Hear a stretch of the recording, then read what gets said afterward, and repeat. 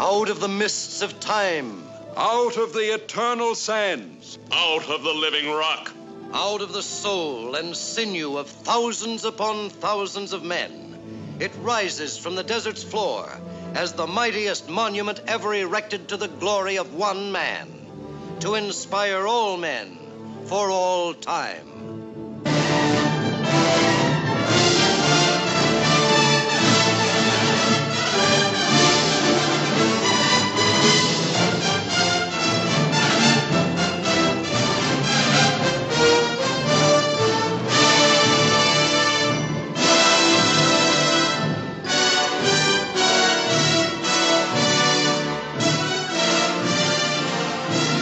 Egypt, 50 centuries ago, when her culture and civilization flourished in a setting of unequaled pomp and grandeur, when her proud legions had conquered all the world and plundered its treasure to feed the insatiable ambition of the greatest of all pharaohs, Khufu the Magnificent, a man of superhuman strength and courage, yet consumed by a fear so strange that he tried to conceal it beneath a massive man made mountain of stone.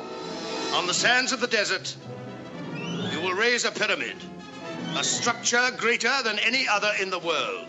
This pyramid shall be my resting place for the second life.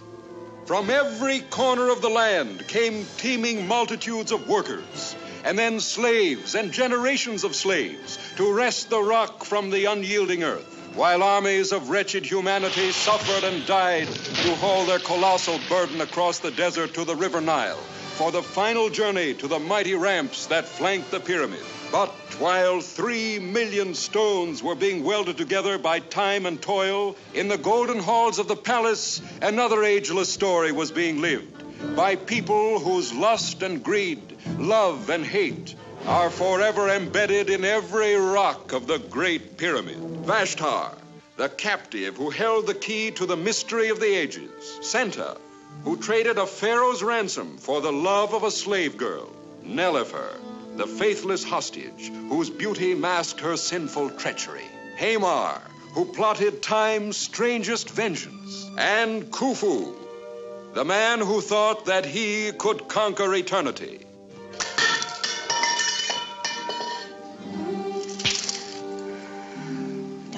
Do that again.